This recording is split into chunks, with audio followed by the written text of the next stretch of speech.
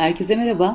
Şu anda Zuhal ile beraberiz. Çikolata Müzesi'ni gezmeye geldik. Buradan da Old Town'daki ışık gösterisine gideceğiz. Daha önceki videolarımızı izlediyseniz Zuhal'i hatırlayacaksınız. Onları da konuk etmiştik.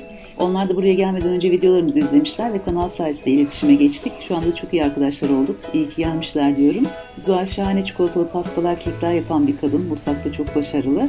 O yüzden müzeyi ona gezmekten çok keyif alacağımı düşünüyorum. Müze saat 10 ile 18 arası açık oluyor. İki odadan oluşuyor. Gördüğümüz kadarıyla çok büyük bir müze değil, çok kapsamlı bir müze değil. Giriş ücreti ise yetişkinler için 7, çocuklar için 3 euro. Biz biraz fazla bulduk açıkçası ücretini çünkü Riga Müze açısından çok zengin bir şehir. Çok güzel müzelere sahip. Elizyon Müzesi, Doğa Tarih Müzesi, Motor Müzesi, İşgal Müzesi, Sanat Müzesi gibi pek çok müzesi var. Zaten şehir açık hava müzesine benziyor ve şehrin her yerinde görülmesi gereken katedraller, kiliseler var. Eğer burada kısıtlı zaman geçirecekseniz 7 euroyu buraya vermek yerine çok daha iyi müzeler için harcayabilirsiniz. Ya da dışarıda çok daha iyi şeyler yapabilirsiniz bu paraya. Bu arada müzeye 7 euro veriyorsunuz ama 7 euroluk da çikolata yiyorsunuz diyebilirim. İçeride bolca çikolata ikram ediliyor. Hatta bir indirim kuponu veriyorlar. E, çünkü müzenin alt katında çikolata dükkanı var. Buradan alışveriş yapabiliyorsunuz ve bu indirimden faydalanabiliyorsunuz. E, ancak dediğim gibi Riga müze konusunda çok zengin bir şehir. Aynı fiyata çok daha iyi müzeler görebilirsiniz.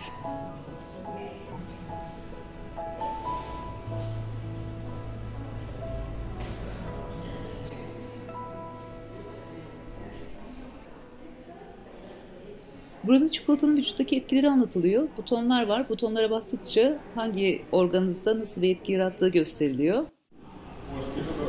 Beğendin mi? Çok güzel.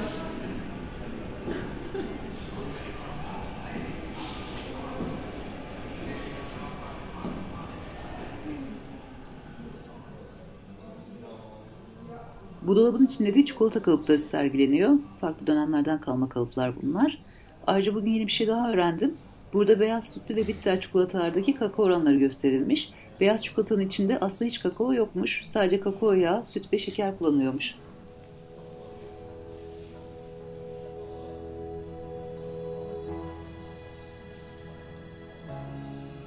Bu bölümde de çikolata kutuları sergileniyor. 1920'lerden 1960'lara kadar e, kullanılan çikolata kutuları var cam mekanların içerisinde. Aslında üzerlerinde çok ilginç desenler var. E, hatta teneke kutular beni çocukluğuma götürdü. İlginç bir koleksiyon malzemesi de olabilir bence kutular.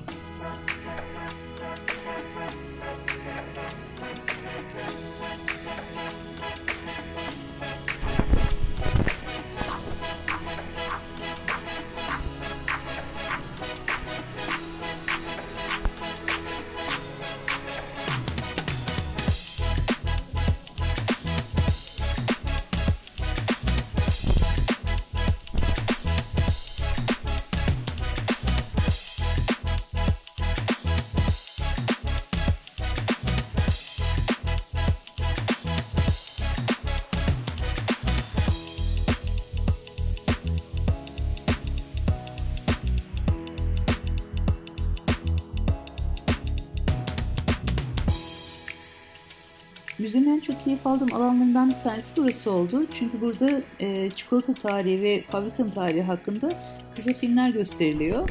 Aslında arşiv değeri oldukça yüksek görüntüler bunlar. Eski el şeyler izlemeyi çok seviyorum. Dediğim gibi en çok keyif aldığım alan burası oldu.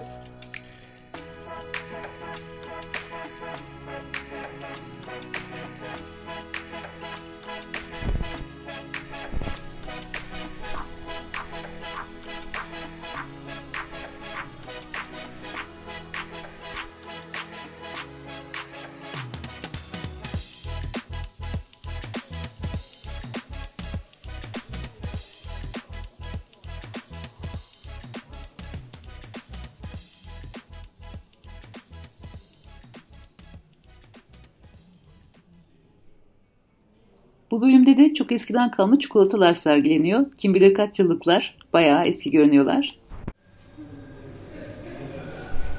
Kaç yıllık acaba artık bu hale gelmişler.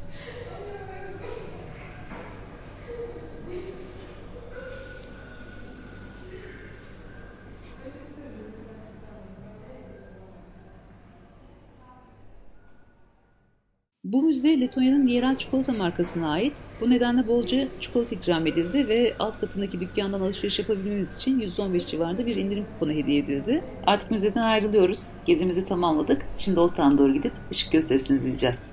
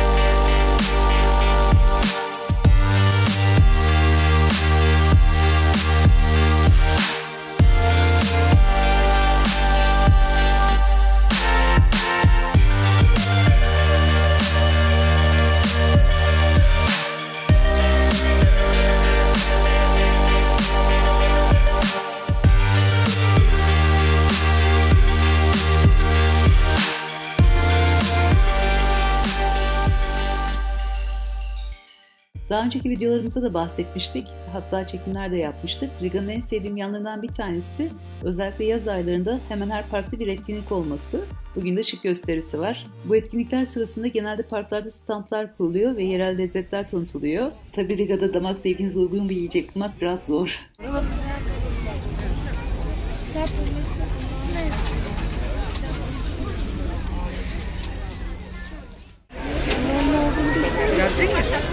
Ya bu patatesli bir şey de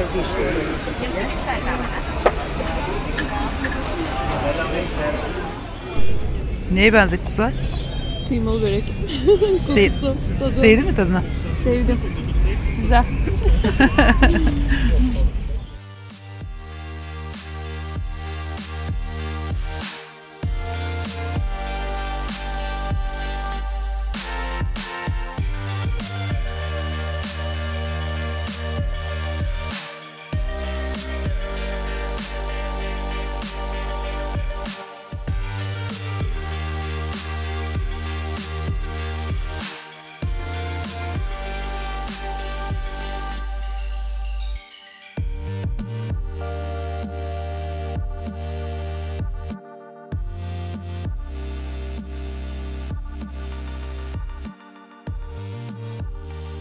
Bizden şimdilik bu kadar. Haftaya görüşmek üzere. Videomuzu beğendiyseniz beğen tuşuna basmayı, bildirim zilini açmayı, kanalımıza abone olmayı unutmayın lütfen. Yorumlarınızı bekliyoruz.